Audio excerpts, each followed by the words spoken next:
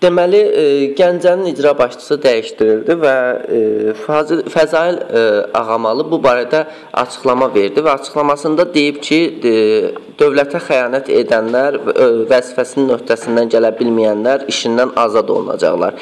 Sizcə e, Azərbaycan prezidenti Elmar Vəliyevi e, bu səbəbdən çıxartdı işdən yoxsa e, səhhəti ilə bağlı?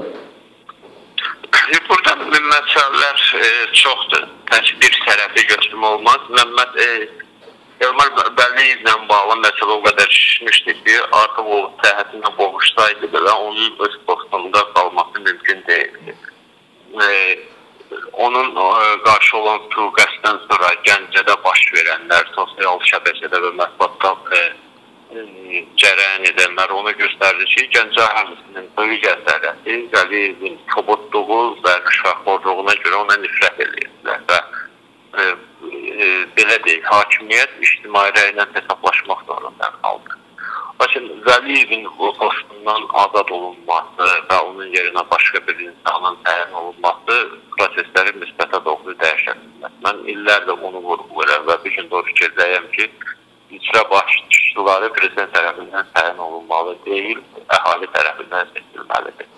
Və vəziyyələrin səlahiyyəti genişləndirilməlidir və yerlərdə e, sakinlər, vətəndaşlar öz başçılarını özləri seçməlidir. Yalnız bu halda başçı onun ora o posta əyləşdirən qarşında məsuliyyətini istiyor olur. Bu gün Vəli və digərləri prezident tərəfindən təyin olunduğuna görə, hansısa qruplaşmanın üzvü olduğuna görə məhz prezidentə və qruplaşmalara xidmət edirlər.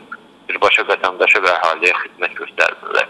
Ona nail olmaq üçün e, düşünürəm ki, başçıların seçki yola keçirilməsindən nail olmaq lazımdır. Məhz bu islahatları, sırıqlı islahatlarını aparandan sonra artıq e, Gəncədə e, və bir qədər əvvəl Qubada və İsmaildə yaşanan olayların qarşısını almaq olar. Yoxsa ayrı-ayrı rayonlar müxtəlif kuratorlar arasında, nazirlər arasında bölünübdür və maraqlar toqquşanda e, ziyanlı əhali çəkir. E, başçının xalq tərəfindən keçirilməsi günün tələbidir və bu məsələdə düşünürəm ki, gecikmək yol verilməz.